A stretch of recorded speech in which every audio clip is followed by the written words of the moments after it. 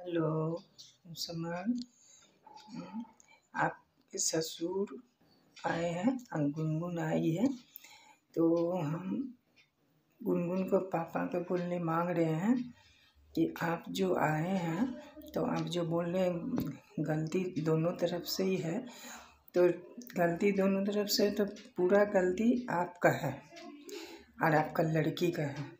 अभी जो हाथ जोड़ रहे हैं तो उस समय आप अकड़ में थे। तो उस समय आप अकड़ में नहीं रहकर और आपको अभी जो हाथ जोड़ रहे हैं, आपको शोभा दे रहा है? उस समय यही मिलाकर आप बेटी को डांटते रपटते तो बहुत अच्छा लगता। देख कर भी सुन कर भी। और अभी जो बोल रहे हैं, राधिका को पापा आया तो गुनगुन जो बोले उसमें साबुन उबुन दे दिए।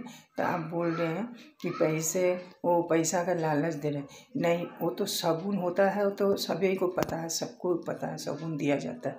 तो पैसा के इसमें लालची कहाँ से आया? साबुन के पैसा का लालची होता है? आप दिए थे पैसा का लालची।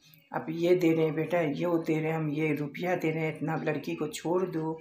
तो फिर आप इतना लाख का घर दे रहे हैं करोड़ों में। तो ये आप किए थे, लालची दिए थे। तो आप रो रहे हैं रो कर तो कोई फ़ायदा नहीं है। आप समझ रहे हैं तो आप जो रो रहे हैं, मैंने लड़की पड़ गया भारी आपके ऊपर, है ना? लड़की भारी पड़ गया। कि तो एक लड़की का घर बसाने में उसके परिवार मतलब अच्छा बुद्धि देते हैं कि जाओ बेटा अब अपने घर में सुखी से रहो। ठीक है? तो वो आप नहीं किए। आप दूसरे बात भड़काने लगे।